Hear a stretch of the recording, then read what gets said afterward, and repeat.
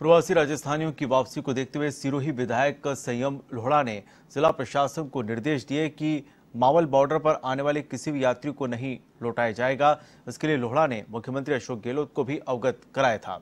बगैर रजिस्ट्रेशन आने वाले श्रमिकों को भी बॉर्डर से नहीं लौटाया जाएगा, क्योंकि हो सकता है कि वे ट्रेन से नहीं आकर अन्य साधनों से आए। इसके लिए जिला कलेक्टर ने भी निर्देश जारी किए हैं। इस दौरान यूआईटी सचिव कुशल कोठारी, तहसीलदार दिनेश आचार्य पुलिस उप अधीक्षक प्रवीण कुमार, परिवहन अधिकारी मनीष शर्मा, रिको थानाधिकारी राण सिंह भी मौजूद रहे।